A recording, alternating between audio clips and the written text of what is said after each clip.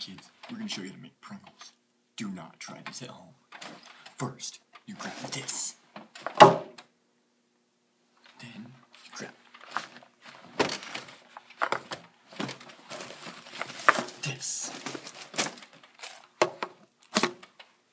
Then, you grab one of these and go like this. And that's how it's done.